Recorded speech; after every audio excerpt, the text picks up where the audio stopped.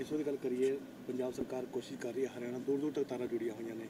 ਕੀ ਲੱਗਦਾ ਕਿੰਨੇ ਟਾਈਮ ਤੱਕ ਪਰਿਵਾਰ ਨੂੰ ਇਨਸਾਫ ਮਿਲ ਸਕਦਾ ਦੇਖੋ ਕੁਝ ਚੀਜ਼ਾਂ ਵਾਸਤੇ ਟਾਈਮ ਬਾਉਂਡ ਨਹੀਂ ਹੁੰਦਾਗਾ ਪਰ ਸਰਕਾਰ ਮੈਨੂੰ ਲੱਗਦਾ ਬਹੁਤ ਜਲਦੀ ਇਸ ਮਸਲੇ ਦਾ ਹੱਲ ਨਿਕਲਿਆ ਜਾਊਗਾ ਤੇ ਬਹੁਤ ਹੀ ਛੇਤੀ ਜਿਹੜੇ ਕਾਤਲ ਉਹਨਾਂ ਨੂੰ ਫੜ ਕੇ ਸਜ਼ਾ ਦਿੱਤੀ ਜਾਊਗੀ।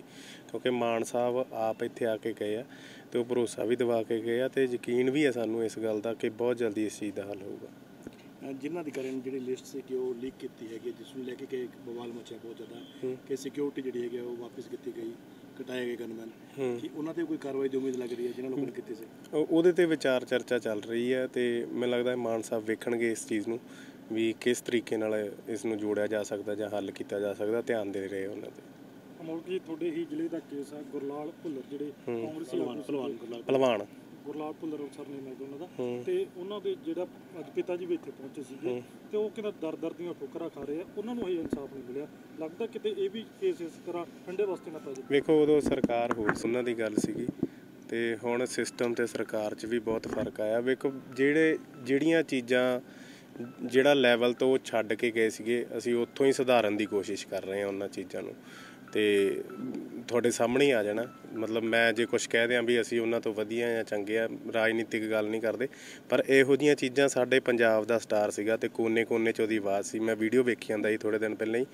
ਮਤਲਬ ਨਿਗਰੋ ਜਿਹੜਾ ਸੀਗਾ ਉਹ ਵੀ ਉਹਦਾ ਟ੍ਰੇਡਮਾਰਕ ਜਿਵੇਂ ਉਹ ਥਾਪੀ ਮਾਰ ਕੇ ਕਹਿੰਦਾ ਸੀਗਾ ਜਾਂ ਉਹਦੇ ਬਾਰੇ ਰੋ ਰਿਹਾ ਸੀ ਸਟੇਜ ਤੇ। ਸੋ ਇਹ ਚੀਜ਼ਾਂ ਸਾਡੇ ਪੰਜਾਬ ਨਾਲ ਇਹ ਮੁੱਦਾ ਨਹੀਂਗਾ ਇਹ ਸਾਡੀ ਫਰਜ਼ ਬਣਦਾ ਵੀ ਅਸੀਂ ਆਪਦੇ ਪੰਜਾਬ ਨੂੰ ਕਿਵੇਂ ਬਚਾਉਣਾ ਕਿਉਂਕਿ ਇਹ ਸਾਡੇ ਪੰਜਾਬ ਦਾ ਨਾਂ ਉੱਚਾ ਕਰ ਰਹੇ ਸੀ। ਸੋ ਉਹਨਾਂ ਚੀਜ਼ਾਂ ਤੇ ਧਿਆਨ ਦਿੱਤਾ ਜਾਊਗਾ ਜਿਹੜੀ ਤੁਸੀਂ ਗੱਲ ਕਹੀ ਆ ਵੀ ਉਹਦੇ ਵਾਂਗੂ ਰੋਲ ਕੇ ਰਹਿ ਜਾਊਗਾ। ਇਹ ਪੁਰਾਣੀਆਂ ਸਰਕਾਰਾਂ ਸੀਗੀਆਂ ਹੁਣ ਸਰਕਾਰ ਵੀ ਬਦਲ ਗਈ ਆ ਪਰ ਫਿਰ ਰਾਜਨੀਤੀ ਤੇ ਗੱਲ ਆ ਜਾਂਦੀ ਆ।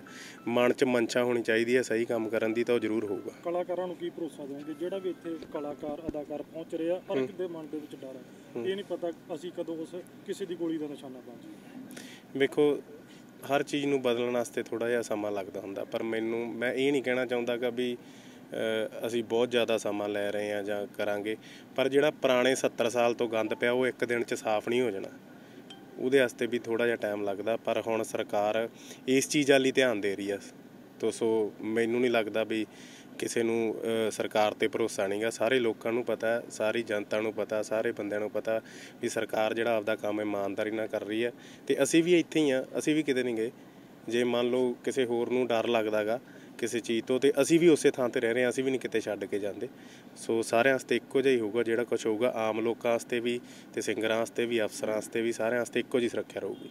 ਬਾਬਾ ਯਾਮੀਨ ਬੰਗਾਲੀ 골ਡ ਮੈਡਲਿਸਟ ਤੁਹਾਡੇ ਸ਼ਹਿਰ 'ਚ ਪਹਿਲੀ ਵਾਰ ਅਦਭੁਤ ਸ਼ਕਤੀ ਚਮਤਕਾਰ ਵੇਖੋ।